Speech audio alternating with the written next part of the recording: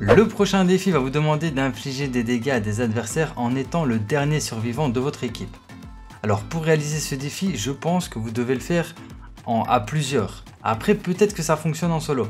Donc là, par exemple, je suis en solo.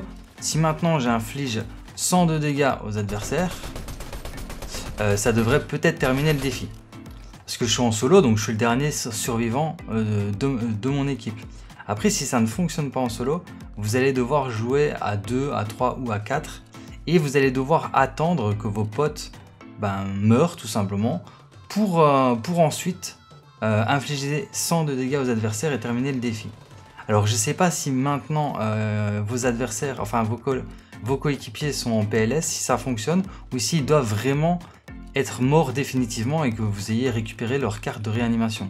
Je pense qu'il faut vraiment qu'ils soient morts définitivement pour que le, défi se valide. Après, ce que vous pouvez faire, c'est tout simplement demander à vos potes, si par exemple vous jouez à deux, vous demandez à un de vos potes de, se laisser mourir.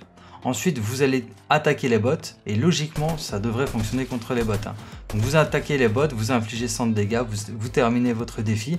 Ensuite, vous réanimez votre pote Peut-être que ça fonctionne aussi s'il est en PLS. Hein. Donc, euh, ah, ça a testé. Si vous testez, n'hésitez pas à le dire en commentaire si ça marche ou pas.